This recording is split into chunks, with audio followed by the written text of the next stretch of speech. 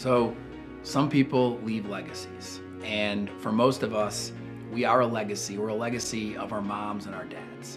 And my mom recently passed two years ago. A lot of people here at Iron Tribe on our corporate team and, and in our gyms here in Birmingham beyond saw me go through that. It was a tough experience. And so today we get to do a workout to honor our mothers. I'm gonna honor mine, and it happens to be a workout named after Maryann Cavale, a woman who is dedicated to fitness, who is dedicated to her clients through personal training, dedicated to her son, her only son. And the whole time she was dedicated to her clients and her son, she was sick. 27 years of kidney disease with dialysis every other day, transplants, and then cancer that took her life.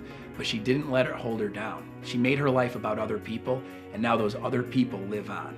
Uh, I always think about my mom as I do Maryann. I think about Jim and the things that I know he went through and losing his mom and other people that have lost someone that's really close to them like that as well. Um, we were missionaries for a couple years in uh, Papua New Guinea, and my favorite picture of my mom is uh, it's just of her um, on the ground with a lady, um, a person from Papua New Guinea, and she's on the ground with her just hugging and loving on her. And um, okay, so my mom was the most beautiful woman that I think ever walked on the planet, and um, um, I'm one of those girls that get furious if I hear little girls fighting with their mom in the dressing room at the store, and I'm like, she might not be around much longer.